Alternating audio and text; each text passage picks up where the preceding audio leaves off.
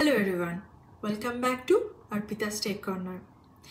In this video, I will go through some possible scenario-based Power BI related questions. I hope it will help you to prepare for your interview. Please check the description section for more details. Let's start with our question and answer. Let's start with our 11th question. What do we mean by this data granularity? Data granularity means how much detail level information I have in the datasets. For example, I have sales related data and in that data if I find that it has daily level information that means it has the daily level data granularity. Okay, so this is a very basic question might be if you are freshers then might be you can face this type of question. Our 12th question. In our datasets there is one timestamp column. I want to display date and time separately. What will be the possible approach? There are two possible approaches. I can create separate date and time columns using Power Query editor also and I can create a duplicate of this column then I can change the data type of one column to date and another column to time. So these are one option. Second option it could be that using DAX date and time function I can create calculated columns to fulfill this type of requirements. So based on the situation I will use the suitable solution. Okay. Don't try to give the answer only one approach. Try to provide two approaches and then you can say that based on the scenario I will select the suitable option. Now the question number 13. Do you know what are the key differences between the Power Query Editor and DAX? Okay. So here we don't need to explain too many details, just we'll try to highlight some of the key points. There are many differences between Power Query and DAX. So some of the key differences are Power Query is used for data profiling. That means data ingestion, data transformation and cleaning process. And DAX is used for data analysis purposes, which means applying aggregation, filtering, calculation and relationship building. And Power Query is using M language whereas DAX is a formula expression language or functional language. Okay. Suppose you have created one dashboard in Power BI service for some users who have viewer access to the particular workspace. Now user want daily update about that dashboard. What will be the convenient solution?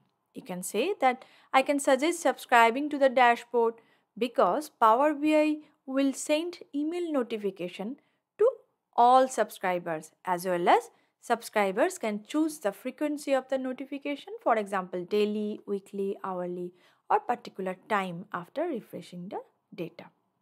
Now the question number 15. Suppose you have one visual that displays the number of orders over the month. A user wants to display the order amount as a tooltip. What are all the possible solution? So in this scenario, you can say that there are some option which I can apply in this scenario. First, add the order amount to the tooltip section of the visual. This is the simple option. And add the order amount field to the visual filter section. So visual filters are usually applied to a single visual. This can be very interesting option in this scenario. Okay. Question number 16. To identify the outliers, which visual you will choose? I will use scatter plot to identify the outliers of the dataset. So obviously to use the scatter plot, our dataset should be in a, that format and the criteria will be also we need based on our requirement. Question number 17. After identifying the outliers of a dataset, what could be the possible solution to deal with that? So in this scenario, we say that after finding the outliers, I will open the Power Query editor and select the particular column which has outlier information. Due to outliers, the mean value of that particular field will be affected. So I have to find out whether other column values are important or not. If those are useful information, then it is better to replace the outlier value with the median value of that particular column. Otherwise, I can delete the row if other columns don't have useful information. So this could be a very interesting question like when you find the outlier, what could be the possible solution to deal with that? Question number 18. While importing the data in Power BI, what could be the most possible solution to improve the performance? To improve the performance, it is always better to use a database environment for calculating the complex formula. Okay, so there are many performance related information you can check in Microsoft documentation. But if you want to say one single point, you can say that yes, the most complex, complex formula should be calculated in database environment. Question number 19. Your dataset has some impurities such as spaces and special characters. Then what will be the possible solution to remove this? So to remove this kind of impurities, I will use the Power Query Editor. In the Power Query Editor, I will select the particular column and I'll right click then there will be a transform option. Under this option, there are many sub options like trim and clean. I will use these options to remove the impurities of the data.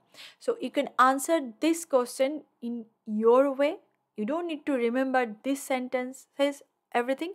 Just try to highlight the points that you have to use Power Query Editor and there you need to select the particular column and if you right click the column you'll find out this transform option under that transform option you'll find this trim and clean options okay now the 20th question. Do you know why we are using row level security in Power BI? To implement the data level security, row level security are used. That means one user can access the permissible or restricted rows. So we have completed some more questions. If you like this video, please share with your friend and colleagues. Thank you. Thanks for watching.